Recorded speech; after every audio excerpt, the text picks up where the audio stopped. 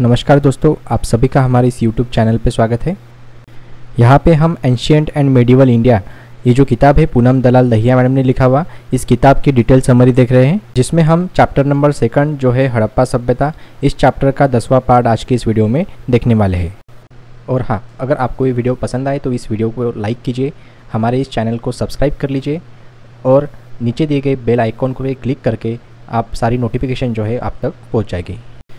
पिछले वीडियो में हमने हड़प्पा, मोहनजोदड़ो, लोथर, कालीबंगन इस उत्खनन स्थल के बारे में देखा था। आज के इस वीडियो में हम चन्नूदड़ो के बारे में देखने वाले हैं। सबसे पहले तो मैप पे चन्नूदड़ो का लोकेशन यहाँ पे देख लेते हैं। यहाँ पे आप देख सकते हो, पिछली बार जो हमने देखा था हड़प्पा, उसके थोड़ा नीचे जो है वो मोहनजोदड़ो है और मोहनजोदड़ो के नीचे है चन्नूदड़ो, ठीक है? तो अब तक हमने हड़प्पा देखा है, मोहनजोदड़ो देखा है यहाँ पे कालीबंगन जो राजस्थान में है, वो भी देखा है। ये गुजरात का लोथल देखा है, ठीक है? और लोथल के बाद में हम आज देखने वाले हैं चन्नूदरो ठीक है? चन्नूदरो पाकिस्तान में ही है। पाकिस्तान के सिंध प्रांत में यह है और समुंदर के पास में ही ये पड़ता है। ये जो चन्नूदरो है, ये सिंधु नदी के किनारे पे बसा हुआ ऐसा शहर था, नगर था, जो कि उत्खनन में हमें मिला है। जैसे कि हमने अभी मैप में देखा ये चन्नूदड़ो जो है वो पाकिस्तान के सिंध एरिया में स्थित है और सिंधु नदी के किनारे पे ये शहर जो है वो बसा हुआ है।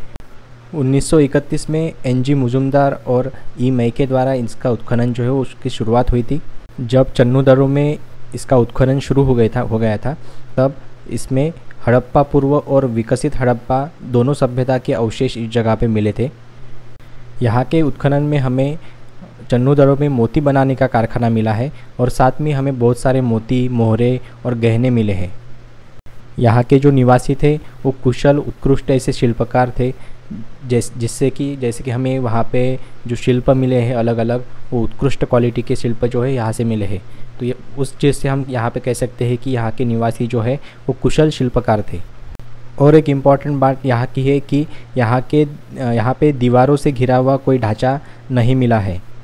और सबसे बड़ी विशेषता चन्नूदड़ो की ये है कि यह हड़प्पा सभ्यता का एकमात्र ऐसा शहर है कि जहाँ पे गढ़ी नहीं मिली है, वहाँ पे गढ़ी नहीं थी। इसके अलावा हमें यहाँ पे मानव बलि के प्रमाण भी मिले हैं। चन्नूदड़ो में हमें चार पहिया गाड़ी का मॉडल मिला है, साथ ही हमें यहाँ पे तांबे से बने छतदार रथ का मॉडल मिला है। ऐसा रथ मिला है कि जो तांबे से बना था और उसके ऊपर एक छत था। ऐसा एक मॉडल हमें चन्नूदड़ो में पाया जाता है। इसलिए हम कहते हैं कि यहाँ के जो निवासी थे, वो कुशल शिल्पकार थे। ये थी चन्नूदड़ो की कुछ विशेषताएँ और हमने यहाँ पे इसका लोकेशन देखा है। अब हम देखेंगे रंगपुर के बारे में। रंगपुर रंगपुर जो है, यहाँ पे गुजरात में लोथल के बाजू में रंगपुर है। ठीक है? ये देखो, गुजरात का जो अहमदाबाद ज़िला है, वहाँ पे है लोथल। और लोथल के थोड़े से नीचे आपको रंगपुर भी दिखाई देगा। देखो, यहाँ पे यहाँ पे रंगपुर। ठीक है? तो इसके आजू बाजू के सब लोकेशन फिर से एक बार देख लेते हैं। हड़प्पा ऊपर मोहनजोदड़ो चन्नूदड़ो यहाँ पे कालीबंगन राजस्थान में, ठीक है? लोथल है, गुजरात में रंगपुर है, धोलीवीरा है, देसलपुर है। तो एक एक करके हम सारे लोकेशन की कुछ डिटेल्स विशेषताएँ देखेंगे। अब हम देखेंगे रंगपुर के बारे में। जैसा कि हमने मैप में देखा है कि रंगपुर कहाँ पे आता है तो गुजरात राज्य में रंगपुर जो है वो स्थित है। और ये जो रंगपुर नगर है, ये भादर नदी के किनारे पे बसा हुआ था। इसके जो खोजकर्ता है, वो है एम एस वत्स, जिन्होंने 1931 में इसकी खोज की थी, और एस आर राव, इन्होंने उन्नीस और उन्नीस में इसकी और खुदाई की थी। यहाँ पे भी हमें उत्खनन करते समय हड़प्पा पूर्व और विकसित हड़प्पा संस्कृति के अवशेष जो है वो मिले हैं। और इसके अलावा हमें उत्खनन में यहाँ पे हड़प्पा पूर्व लोगों के पीले और धूसर रंगों के बर्तन भी यहाँ पे मिले हैं। तो ये थी रंगपुर की कुछ विशेषताएँ। यहाँ पे किताब में जितनी इन्फॉर्मेशन है, उतनी मैं आपके साथ शेयर कर रहा हूँ, ठीक है? इसके, इससे ज़्यादा कुछ डिटेल यहाँ पे नहीं लिखा हुआ है रंगपुर के बारे में। ये जो लेक्चर सीरीज़ है, ये कंप्लीट होने के बाद मैं इस पर और डिटेल में कुछ जानकारी आपके साथ ज़रूर शेयर करूँगा। इसके बाद मैं जो आपके साथ उत्खनन स्थल शेयर करने वाला हूँ, वो है बनावली। बनावली जो है, वो बहुत ही इंपॉर्टेंट ऐसी एक साइट है एग्ज़ाम की दृष्टि से बहुत इंपॉर्टेंट ऐसी एक साइट जो है वो है बनावली। यहाँ पे आप मैप में देख सकते हो। यहाँ पे कालीबंगन है, जो कि राजस्थान में है और उसके बाजू में बनावली है। बनावली ये हरियाणा में आता है। यहाँ पे इसका लोकेशन है गूगल अपने मैप में तो उसको आप याद रखना। हरियाणा में आता है बनावली, ठीक है?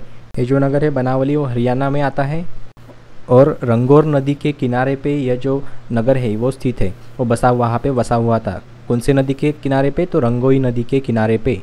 1973 में आर एस बिष्ट द्वारा बनावली की खोज जो है वो की गई थी। उत्खनन करते समय हमें यहाँ पे हड़प्पा पूर्व, विकसित हड़प्पा और उत्तर हड़प्पा सभ्यता के इस संस्कृति के अवशेष यहाँ पे मिले हैं। तो यहाँ पे तीनों संस्कृति के अवशेष हमें यहाँ पे बनावली में मिल जाते हैं। बनावली में उत्खनन करते समय हमें यहाँ पे उत्तम गुणवत्ता का जौ जो है वो मिला है। उत्तम गुणवत्ता का जौ कहाँ पे मिला है तो? बनावली में हमें यहाँ पे मिला है।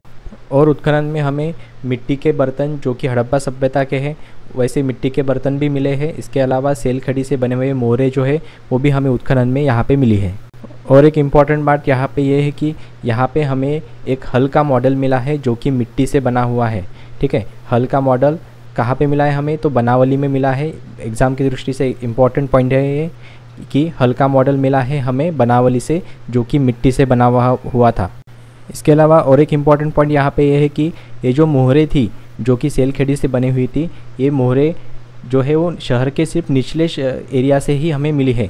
जो गढ़ी का एरिया था, वहाँ पे हमें कोई मोहर जो है वो नहीं मिली। सिर्फ़ निचले शहर के हिस्से से ही हमें मोहरे जो है वो यहाँ पे मिली है।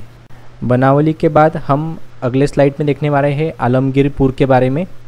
आलमगीरपुर। सबसे पहले तो इसकी लोकेशन यहाँ पे देख लेते हैं। यहाँ पे आप देख सकते हो, यहाँ पे है आलमगीरपुर, जो कि उत्तर प्रदेश में आता है।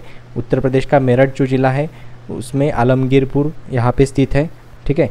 तो हमने जो अभी कालीबंगन देखा था, बनावली देखा था राखी गढ़ी और राखी गढ़ी के बाजू में है आलमगीरपुर यहाँ पे, ठीक है? तो इसकी लोकेशन हमें याद रखनी है। तो जैसे कि हमने यहाँ पे देखा कि ये जो आलमगीरपुर है, ये उत्तर प्रदेश के मेरठ के पास में स्थित है। और इंपॉर्टेंट बात कि ये जो है, आलमगीरपुर, ये हिंडन नदी के किनारे पे बसा हुआ था।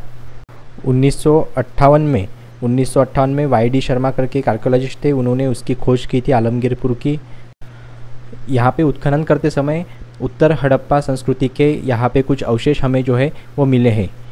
इसके अलावा कठोत और नान पर हमें कपड़े की छाप जो है वो भी मिली है यहाँ पे। और हमें यहाँ पे मिट्टी के बर्तन भी मिले हैं जो कि उत्तर हड़प्पा संस्कृति के मिट्टी के बर्तन हैं और आ, मोती भी मिले हैं। तो ये थी कुछ इंपॉर्टेंट जानकारी आलमगीरपुर के बारे में। अगले स्लाइड में हम देखने वाले हैं कोट डीजी के बारे में। कोट डीजी कोट डीजी के सबसे पहले लोकेशन देख लेते हैं मैप में। यहाँ पे हमें मोहनजोदड़ो और चन्नूदरो जो कि पाकिस्तान में है, उनके दोनों के बीच में आपको कोट डीजी, ये जो उत्खनन स्थल है, वो दिखाई देगा। कोट डीजी, जो कि पाकिस्तान के सिंध एरिया में आता है। ठीक है तो इसकी लोकेशन देख लो एक बार फिर से। मोहनजोदड़ो और चन्नूदरो के बीच में है, ठीक है? और भारत के बाउंड्री के पास में ही ये आता है कोट डीजी करके एक नगर है, ठीक है? तो उसके बारे में हम अब डिटेल में देखेंगे। जैसा कि हमने मैप में देखा, ये पाकिस्तान के सिंध एरिया में आता है कोट डीजी नगर। और सिंधु नदी के पास में ये जो नगर है, वो बसा हुआ था सिंधु नदी के पास में, ठीक है? तो यहाँ पे कोट डीजी में उत्खनन करते समय हमें हड़प्पा पूर्व सभ्यता के यहाँ पे अवशेष जो है, वो मिले हैं। यह जो कोट डीजी है, ये ये हड़प्पा पूर्व की बस्ती थी। और हम यहाँ पे कह सकते हैं कि हड़प्पा पूर्व और उत्तर हड़प्पा के संस्कृति के बीच की परिवर्तनशील ऐसी ये संस्कृति थी। कौन सी? तो कोट डिजी संस्कृति जो है, कोट डिजी जो स्थल है, वहाँ पे एक परिवर्तनशील संस्कृति पाई जाती थी, जो कि हड़प्पा पूर्व और उत्तर हड़प्पा के बीच में थी। और इसके अलावा इंपॉर्टेंट पॉइंट ये है कि कोट डिजी में गेंडे के वास्तविक अवशेष जो है वो मिले हैं।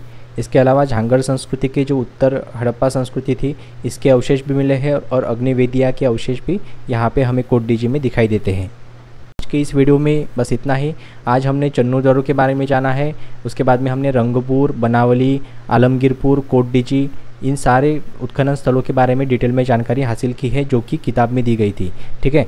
तो अगले वीडियो में हम बची हुई जो उत्खनन स्थल है, जैसे कि अम्बरी, रोपड़ हुआ, ढोलावीरा हुआ सुतका के दौर है सरकोड्डा है राखी गढ़ी है, इनके बारे में डिटेल में जानकारी हासिल करेंगे।